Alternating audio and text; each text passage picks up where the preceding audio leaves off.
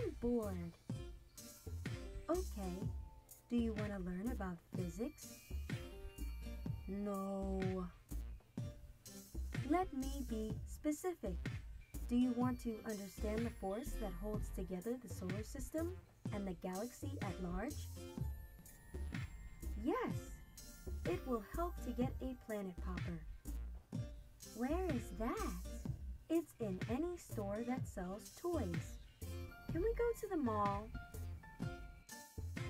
That's where we've been heading for the last 15 minutes, and no, we are not there yet.